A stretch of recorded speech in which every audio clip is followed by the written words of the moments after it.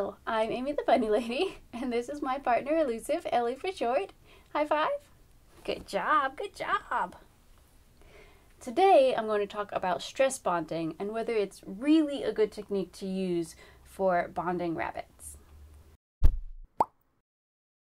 If you are new to our channel, welcome. We give it tips and tricks for how to make sure you have a happy and healthy bunny in your home. So if that's the kind of thing you're interested in, go ahead and hit that subscription button and the notification bell next to it so you never miss any of our upcoming videos. And don't forget to check out all of my bunny merch. We have cute and funny t-shirts, different types of things you can check out if you like cute bunny stuff. So first, let's go over what stress bonding is. So, because some people have different ideas of what this means.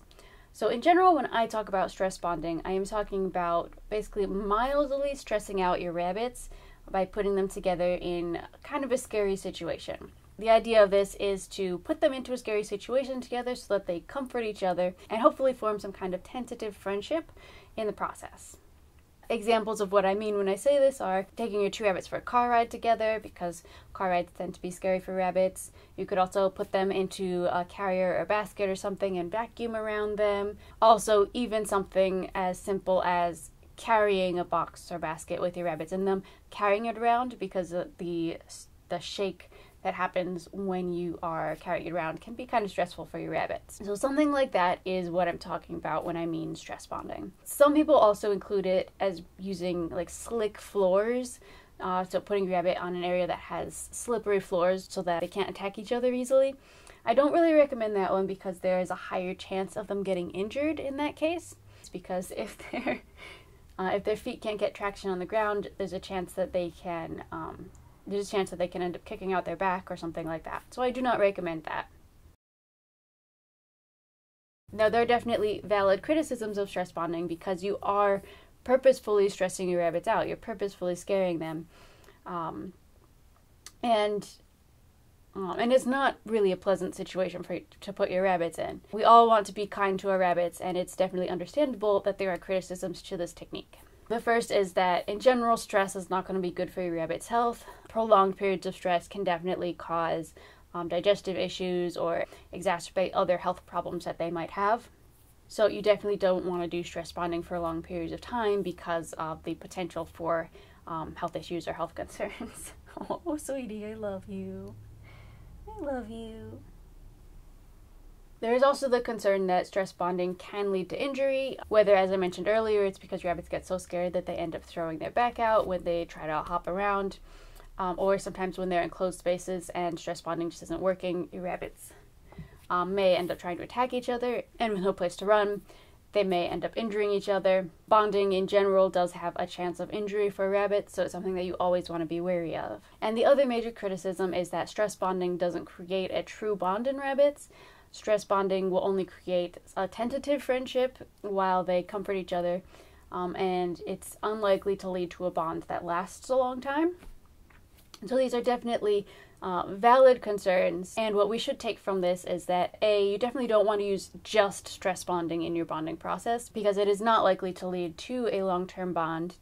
Um, but and also you want to keep your stress bonding sessions short because you don't want to uh, keep your rabbits stressed out for long periods of time. So try to keep them to about 15 minutes so that you're not uh, scaring your rabbits more than you need to. That being said, I don't think stress bonding is always necessary. In fact, I think it should be avoided in most cases.